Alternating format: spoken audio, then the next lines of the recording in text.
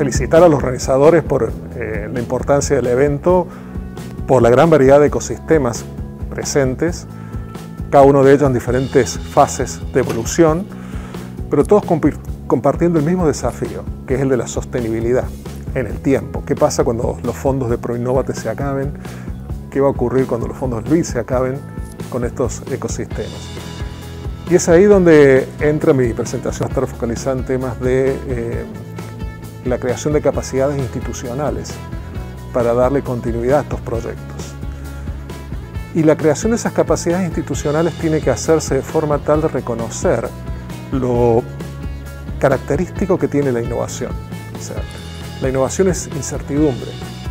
Por lo tanto, las capacidades institucionales tienen que desarrollarse para tratar de descubrir dónde están los problemas, porque nadie te va a decir ex ante dónde está el problema, tú lo tienes que descubrir. Entonces, más que ir con el manual y el libro de texto, tienes que ir con una mentalidad de explorar dónde están los problemas.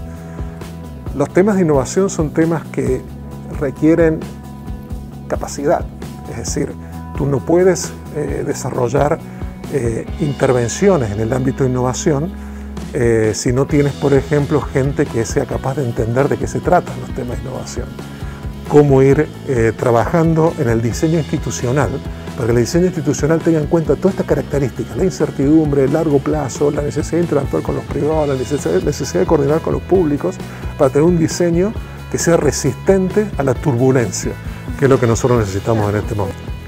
Primero, lo que dije al comienzo, eh, tener muy claro el diseño institucional.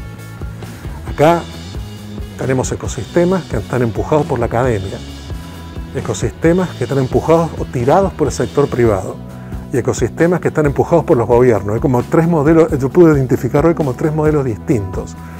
Eh, tal vez ninguno de esos tres va a ser suficiente.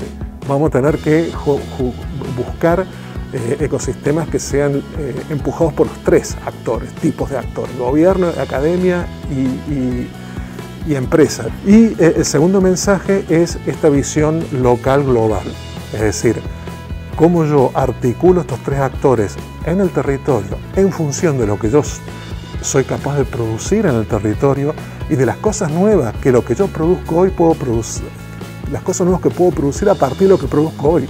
Esa es la esencia, digamos. Eh, las capacidades productivas se generan siempre a partir de lo que uno sabe producir.